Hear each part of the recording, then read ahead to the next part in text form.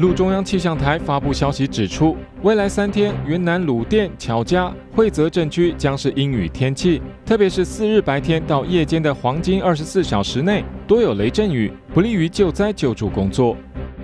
昆山中荣金属制品有限公司二日发生爆炸，造成重大伤亡。中荣金属法人代表吴基涛、总经理林伯昌在内的管理高层已被留置公安局接受调查。据称，企业法人代表在派出所接受审查时，当场瘫倒在地。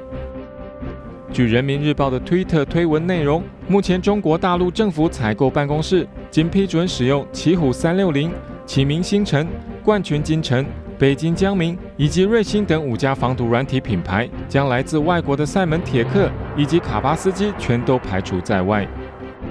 中国国家统计局及中国物流与采购联合会昨联合公布。七月非制造业 PMI 创六个月新低，五十四点二，显示在中国房市持续降温下，建筑业总体放缓，恐不利中国经济成长前景。新唐人台电视整理报道。